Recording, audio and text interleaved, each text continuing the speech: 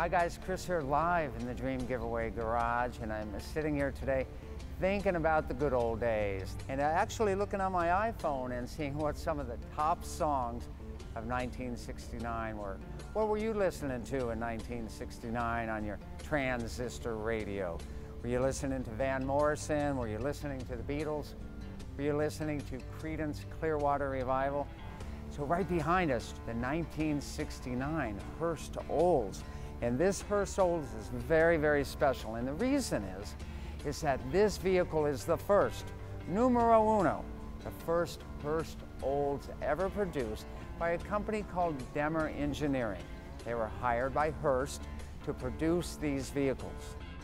You couldn't get a 455 engine in an Oldsmobile Cutlass because General Motors would not allow it.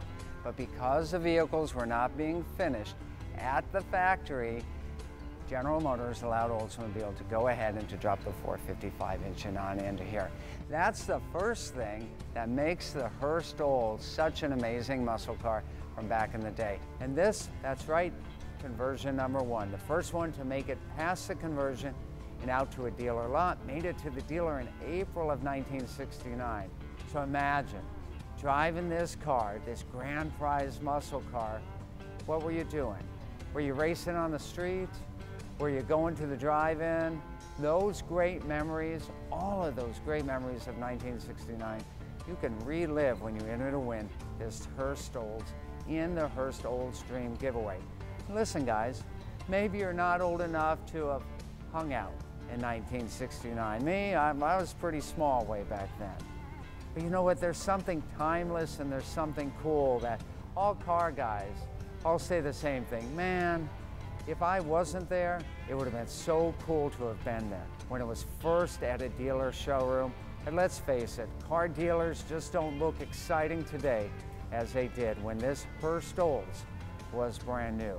Steering wheels were bigger back in the day, the seats were comfier. Floor shift down here with the Hurst, his and her shifter, analog gauges right in front of me. I mentioned to you the AM FM radio so you can listen to your favorite classic tunes. Speaking of tunes, let's go ahead and, and fire up the olds.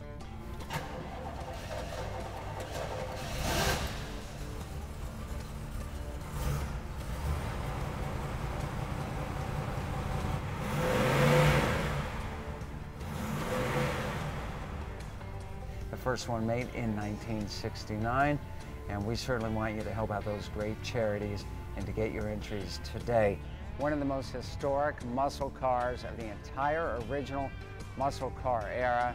Thanks for joining me here in the Dream Giveaway Garage. We'll see you with more great fun, more great action, and more great traction.